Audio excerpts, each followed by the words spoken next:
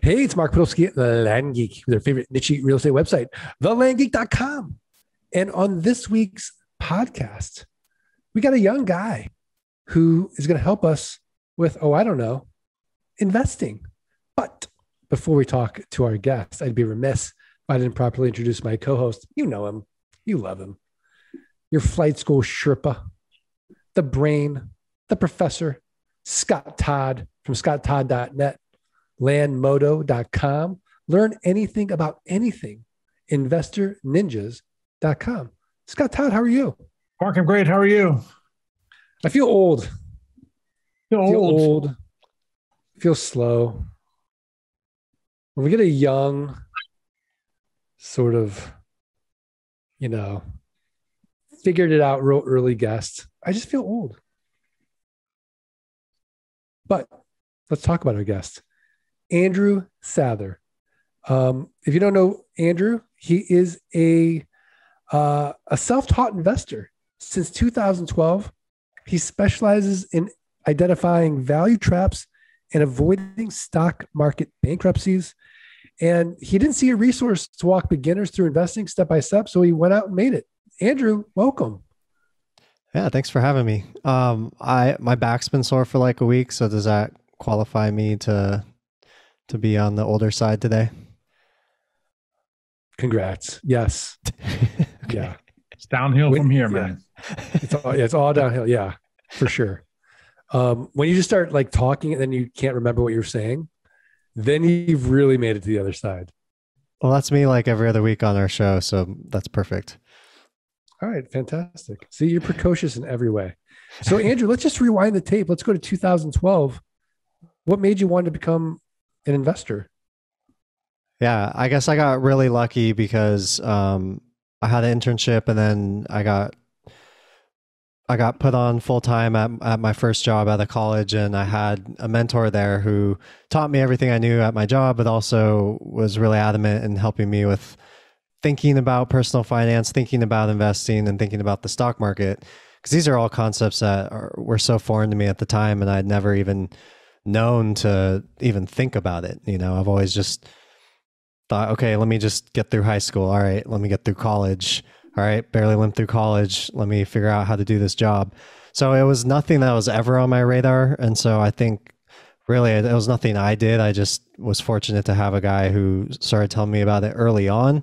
And then when I started to see tangible results, so in his case, he was a much older guy. And so um, I always like to remember how he came into work one day with a brand new, brand new Corvette. And I was like, oh, that's pretty cool because you know I know you're also driving a Lexus. I was like, how are you doing this? Like, uh, you're much older than me, and you know, but we're it's not like we're doing millionaire stuff at our job here. And so he told me I was he was like, yeah, I sold some stocks and bought this Corvette. I was like. Okay, that's when it clicked in my head, and I was like, I got to learn about this stuff. You know, it turns out that the stock market and investing is not about buying Corvettes or Lexuses, but um, it's a very long, drawn out, kind of patient process that you have to have.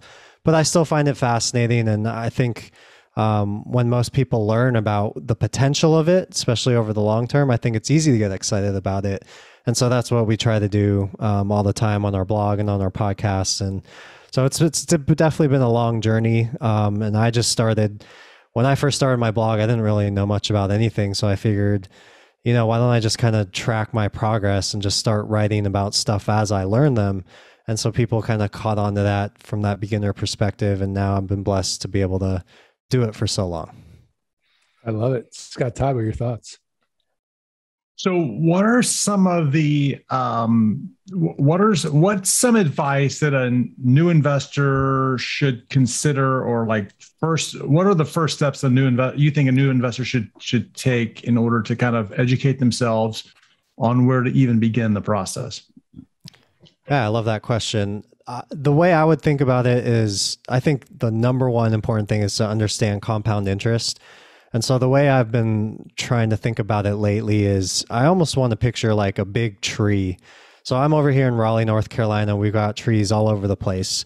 Makes it super easy to look at trees. But um, if you look at trees during the winter when all the leaves have fallen, you can see all of these branches. And if you really look at them closely, you'll have the tree trunk, you'll have these branches, but then each branch will have its own kind of network of branches. And so the branches just continue extending out and a branch will turn into a branch, will turn into a branch. And so you'll have these layers of branches. And really that's how wealth starts out. But it really starts out small too. It starts out like these little seeds that you're planting into the ground. And so it's not about, you know, picking the best stock in the world. It's not about picking Tesla or GameStop before they before they skyrocket to the moon. What it's really about if you want to think about investing in the right way is you want to find you, you want to just plant these little seeds and, and let that grow and, and it it really grows on itself. So again going back to the tree um, br- these branches will come from other branches. And so those are like the, your returns in your investments. And so if you're able to continue to let your investments ride and you continually reinvest whatever you make back into that tree that's where the branches continue to grow other branches and you'll start to get compounding interest and it's also been explained as like a, a snowball so if you think about rolling a snowball down a hill the longer it rolls down the hill, the more and more snow it accumulates. So it could start very, very small, but as it gets bigger and bigger in size, you're getting massively more amounts of snow. And so the exact same thing happens to wealth if you do it in the right way, in the sense that you're going to do things that we like to teach, like diversification. So, you know, you're not putting all of your eggs in one basket. You're not building a tree that's going to fall down in half before it can even grow to a decent size. So you're doing that, and then you're just letting time do its thing. And so as your portfolio grows, it's able to earn higher, higher and higher amounts of money. If you keep funneling that back in, you're going to multiply your money and it, it grows exponentially, which I get really excited about. That's uh, like the Warren Buffett model. A bit, yeah. I mean, he. I guess he he has a book out there called Snowball. Somebody wrote about his life. He's definitely been somebody who, over a very very long time, has just accumulated wealth. I mean, he. I think he started when he was like ten years old. So it's hard for any of us to really imagine having that kind of a snowball effect. But we can all do our own little things. Something I find inspiring for new generations of investors is if you take something as small as $150 a month and, just that, I mean, it's like, it's like a little bit more than what we pay for cell phones these days every month. So if you were to just take that and you start maybe when you're first out of college, maybe like 25 years old, and if you could, if you could keep that habit for 40 years and you get just uh, 11% stock market returns, which would just be 1% above the average over the very long term, you'd have a million dollars. You'd be a millionaire. So I think that's a message that if we could get across to more people to get just get started, it doesn't need to be much. And just the effect of starting early and letting that snowball start to build earlier than later, um, it can really pay dividends down the road. So, Andrew, what's some of the worst advice you see or hear given in getting started with stock market investing? I mean, I you know I don't want to call out any any sort of strategies. I think there's a lot of ways that you can make money with it, but I think I think overconfidence is probably the worst thing you could have because if you just start to think that you have it all figured out, and I think it's something every investor falls into when they first start, but if you could just try to like contain that overconfidence and just really be curious and have an open mind and try to learn everything that you can. So, you know, I, like um, if you're on TikTok or something and you see these people who are pitching stocks within like a 10 second time span, you know, is that really a, smart use of my of my mental bandwidth? Is that a smart use of my hard earned savings? Or am I going to keep more of an open mind and and try to examine the different advice that's out there and try to sift between what's good and what's bad. The beauty of the internet is that there's so many great ideas that can be shared so easily. I mean, we have a crazy amount of podcasts out there. There's been blogs out there for a long time.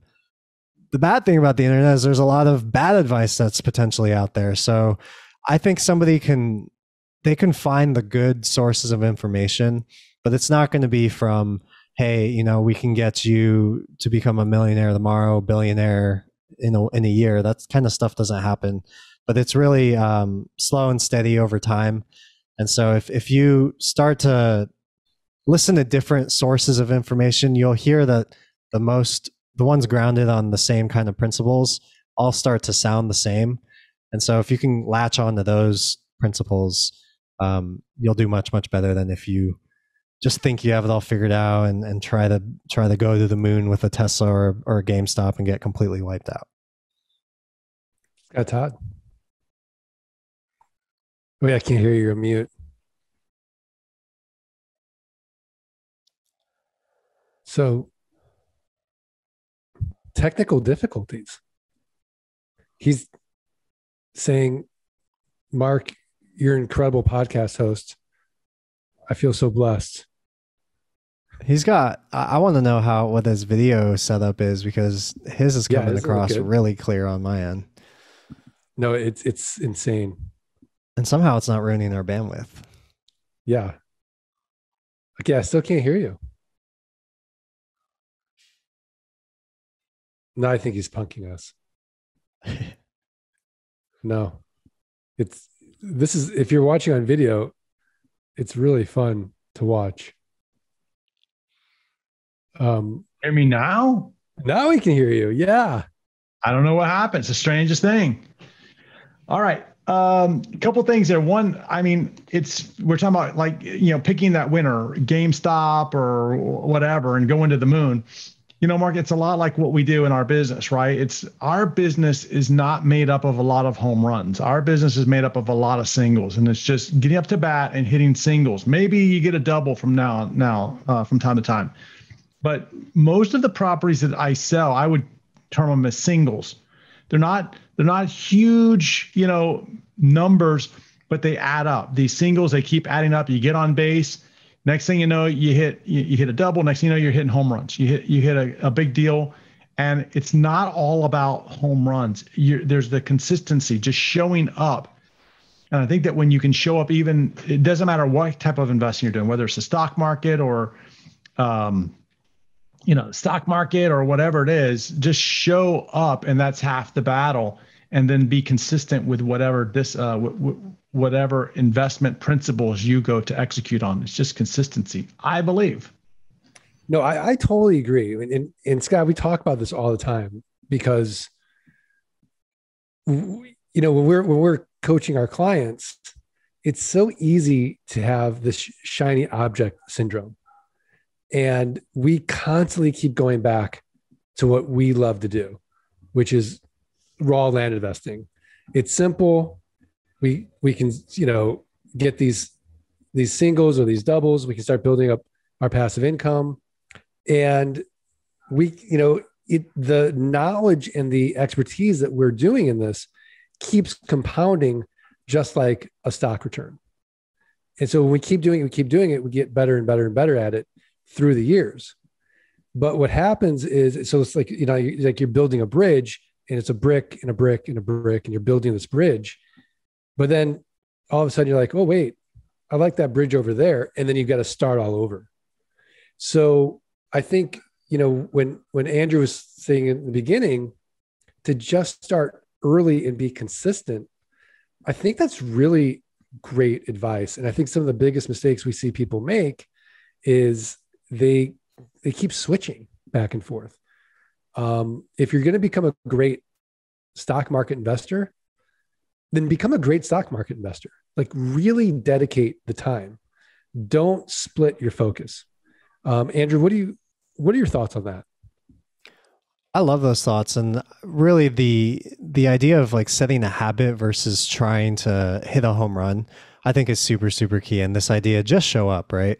So let's just get to the batter's box and let's make sure we're getting enough opportunities to even have success. And to your point, nobody became uh, a world class at anything overnight.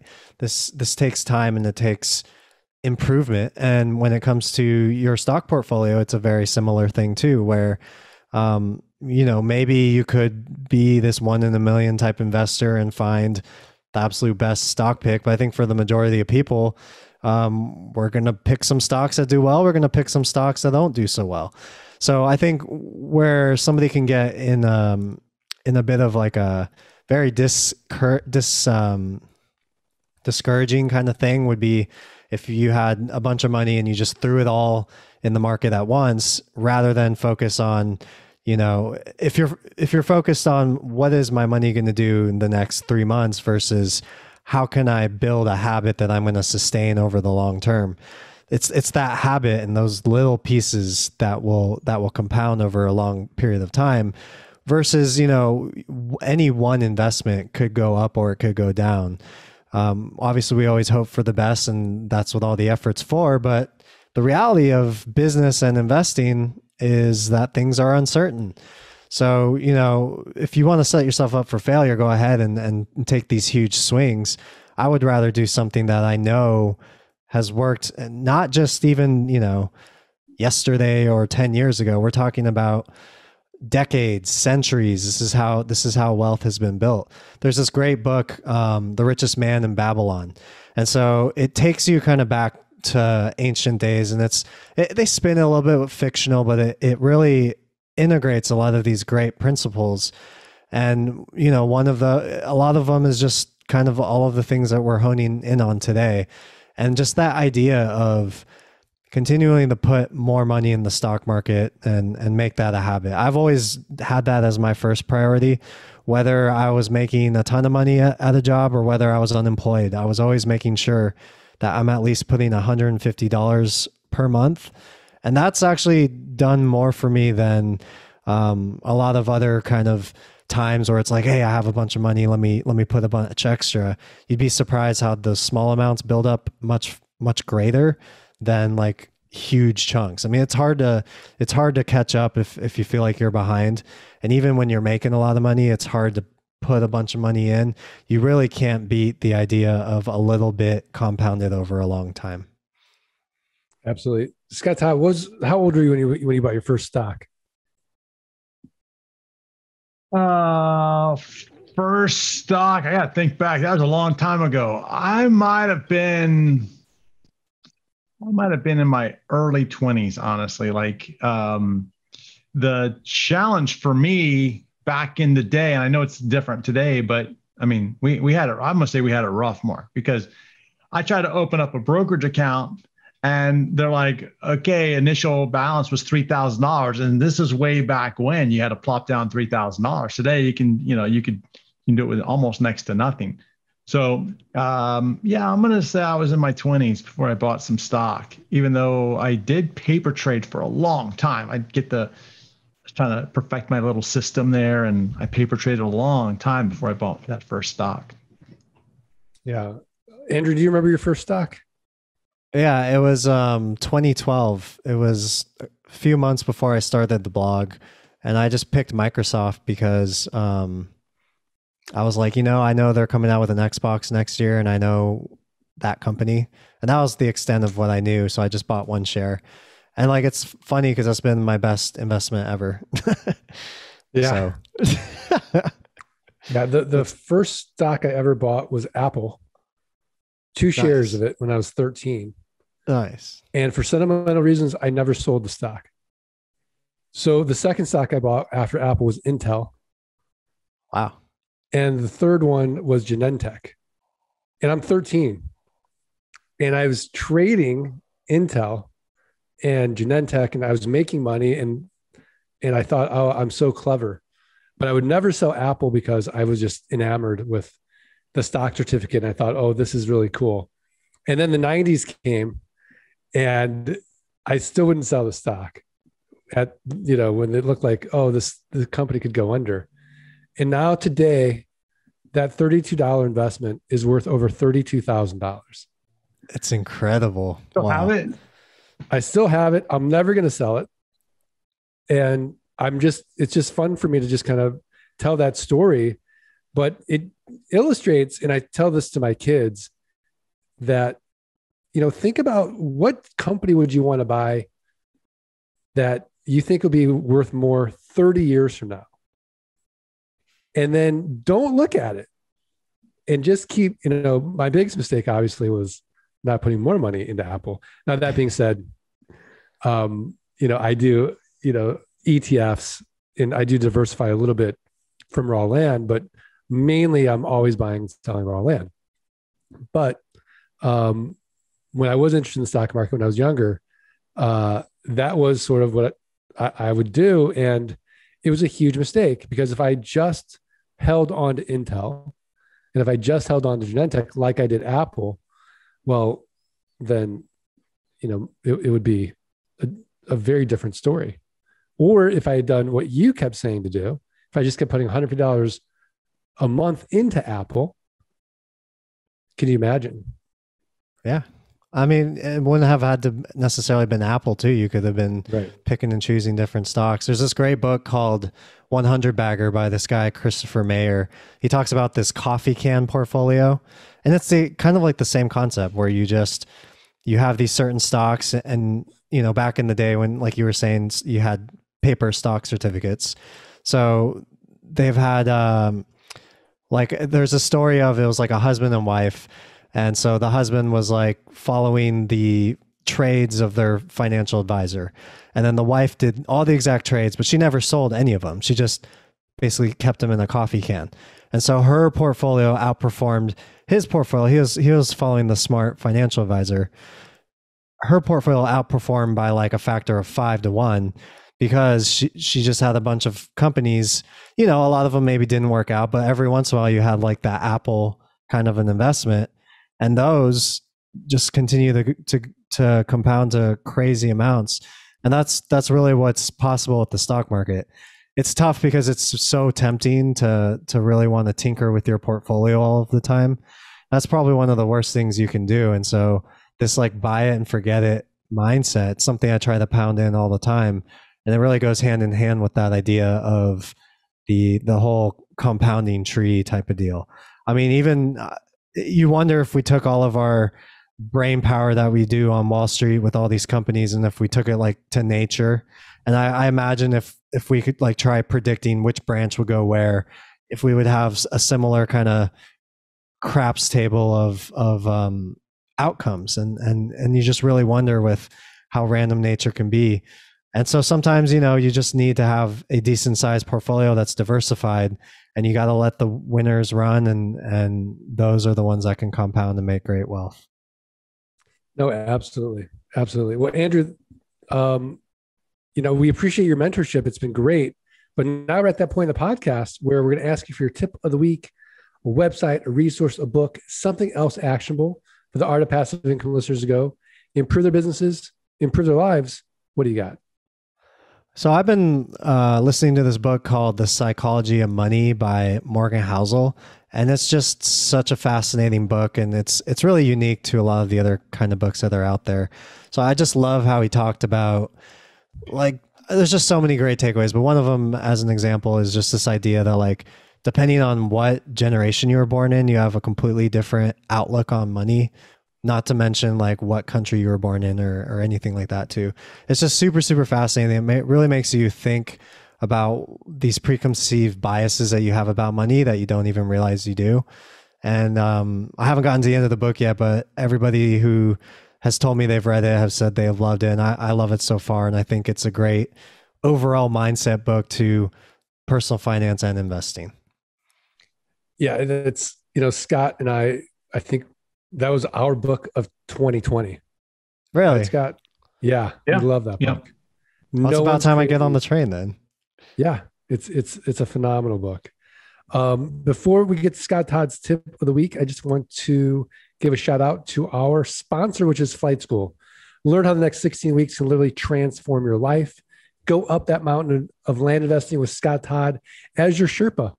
He's going to take you up there quickly, safely, efficiently.